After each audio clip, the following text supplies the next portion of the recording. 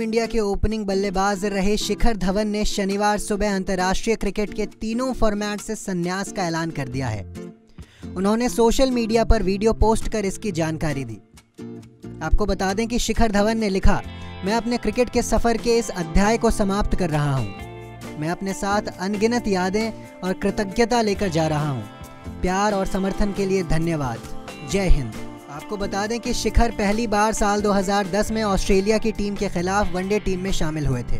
साल 2022 में बांग्लादेश के खिलाफ उन्होंने आखिरी वनडे मुकाबला खेला था। तब से उन्हें टीम इंडिया में जगह नहीं मिली थी। आपको बता दें कि शिखर धवन ने एक मिनट सत्रह सेकंड का वीडियो पोस्ट किया। इसमें उन्होंने कहा, नमस्कार, आज मैं एक ऐसे मोड़ पर खड़ा हूँ जहाँ से पीछे देखने पर केवल यादें ही नज़र आती हैं और आगे देखने पर पूरी दुनिया। मेरी हमेशा से एक ही मंजिल थी, इंडिया के लिए खेलना।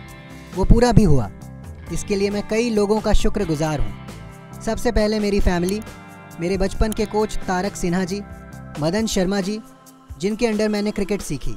टीम इंडिया में खेलने के बाद मुझे आप फैंस का बहुत प्यार मिला। लेकिन वो कहते हैं ना, कहानी में आगे बढ़ने के लिए पन्ने पलटने ज़रूरी हैं। बस मैं भी ऐसा ही करने जा रहा हूँ। मैं इंटरनेशनल क्रिकेट और घरेलू क्रिकेट से संन्यास ले रहा हूँ। आइए देखते हैं उनका वीडियो। नमस्कार सभी को। आज एक ऐसे मोड़ पर खड़ा हूँ, जहाँ से पीछे देखने पर सिर्फ़ यादें ही नज़र आती हैं और आगे देखने पर एक पूरी दुनिया। मेरी हमेशा से एक की मंजिल थी, इंडिया के लिए खेलना, और वो हुआ भी, जिसके लिए मैं कई लोगों का शुक्रगुजार हूँ। सबसे पहले मेरी फैमिली, मेरे बचपन के कोच तारिक सिन्हा जी, मदन शर्मा जी, जिनके अंडर मैंने क्रिकेट सीखी। फिर मेरी टीम, जिसके साथ साथ मैं सालों खेला। मुझे एक परिवार और मिला, नाम मिला, आप सबका प्यार मिला। और कहते हैं ना, कहानी में आगे बढ़ने के लिए पन्ने पलटना ज़रूरी है। तो बस, मैं भी ऐसे ही करने जा रहा हूँ। I am announcing my retirement from international and domestic cricket और अब, जब मैं अपनी क्रिकेट जर्नी को अलविदा कह रहा हूँ तो मेरे दिल में एक सुकून है कि मैं अपने देश के लिए बहुत खेला। और मैं बहुत शुक्रगुजार हूँ बीसीसीआई डीडीसी का, जिन्होंने मुझे मौका दिया। और मेरे सारे फैंस का, जिन्होंने मुझे इतना प्यार दिया।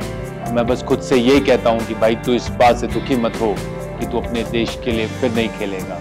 पर इस बात की खुशी अपने पास रख कि तू अपने देश के लिए खेला। और ये मेरे लिए सबसे बड़ी बात है, मैं खेला।